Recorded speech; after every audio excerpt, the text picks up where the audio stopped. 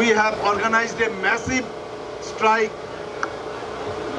We have organized a massive strike all over India and it was a overwhelming response from the people, from the bankers and from the all walks of life. And you people will be happy that the mighty organization IBOP on 21st, one of the issue was the pension updation. We have on clear terms told uh, IBA as well as the ministry until and unless the bankers will get their dues in in terms of bipartite as well as in terms of pension updation, we will not come to talk to you people. So friends, I know that militancy is a legacy issue. By seeing all the people here, you people at this age, you people are more militant than any organization. So my humble request to all of you,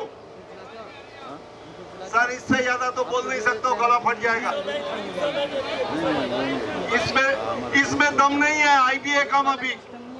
mic में दम कम है IBA कम अभी का है। IBA में दम नहीं है। तभी तो बोल हूँ आवाज़ पहुँच नहीं रहा है। We are here just to show the as well as one thing, the present leadership of IBOP. We have decided that our pension, pensioners, they should get their dues. If they will not get the dues according to our wish or according to the demand of the uh, Pensionary Retiree Association, we will not come in their terms to sign the bipartite.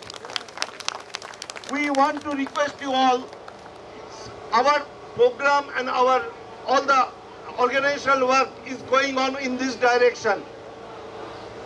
On 2nd of February, we are going to hold massive dharna in Delhi and Parliament March. Our target is 30,000 people. I request the leadership as well as all the seniors who are sitting here who has given the strength to the officers organization. I request all of you to be present on 2nd and show the solidarity for your cause and the, for the cause of the working class.